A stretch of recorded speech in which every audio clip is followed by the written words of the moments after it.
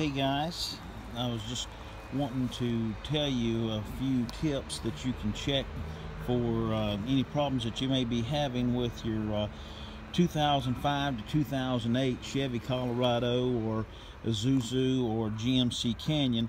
Uh, one of the problems that some people have with these things are electrical issues. They're, they're known for them and I'm just going to tell you how you can maybe alleviate some of those problems. Uh, one of the first things I'm going to address is the uh, corrosion and things of that nature uh, that goes on with a lot of the terminals.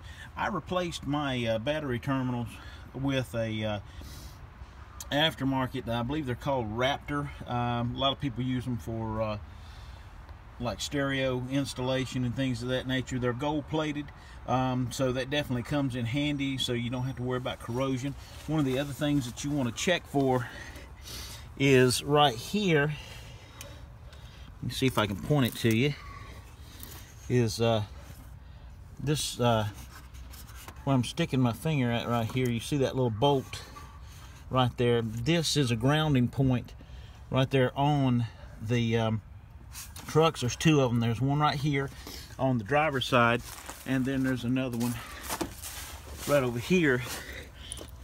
It's right behind the uh, right behind the. Um, let me get this strap out the way.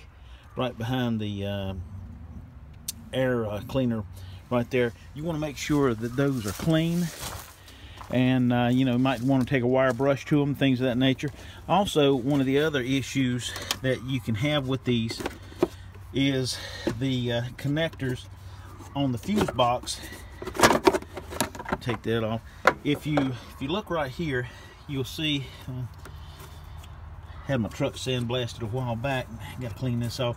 But um, you want to make sure that these connectors right here and that uh, mega fuse are good. And uh, you also want to check these. These things can come loose for some reason. Don't know why but they do and that can cause problems as well with your electrical connectors.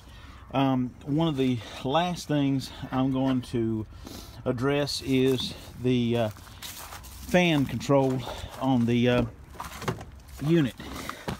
A lot of times what happens is as you turn the fan on and it won't cut on except for the uh, number four setting on the uh,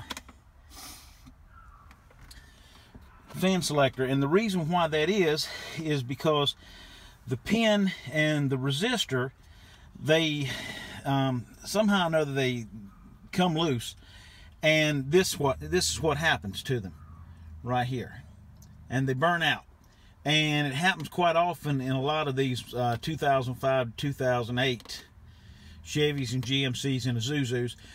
Uh, I ordered the parts. I got mine from AutoZone. Uh, you can get them from Rock Auto and other places too.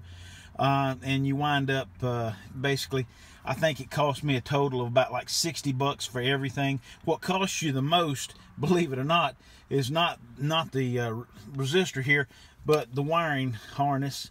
And uh, basically they just give you the plug with about I think it's about maybe two feet of wire.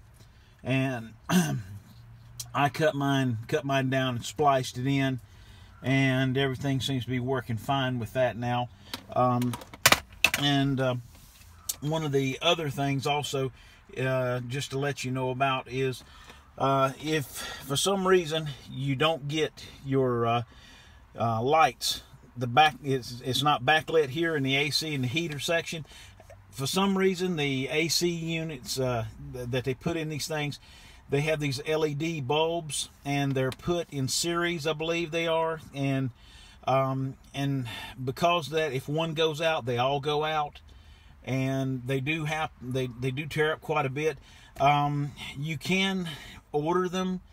They they you know I went to. Um, Radio Shack and bought some LEDs and I soldered my own in and uh, that solved my problem. Uh, you can also go to a junkyard and uh, get a replacement unit. Uh, I think uh, replacement unit uh, locally here is about around 21 bucks and had a friend of mine do that and his seemed to be working okay And so those are just the issues that I've come across since I've owned my truck for the last year now. And, and since I fixed all of those things, you know, uh, it seems to be running fairly well. Um, you know, if you have any questions or anything like that, you know, there's a lot of forums out there. Uh, one of the forums that I go to is um, is the 355 uh, forum. Uh, 355, I guess, was the name that uh, General Motors gave to these trucks when they were uh, designing them.